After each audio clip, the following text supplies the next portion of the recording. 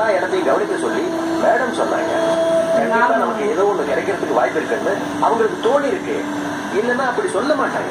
நாங்க நல்ல பேர் பார்க்கணுமே எதுவும் கண்ணில் படல அப்படி எதுவுமே எங்க கண்ணில் படலையே.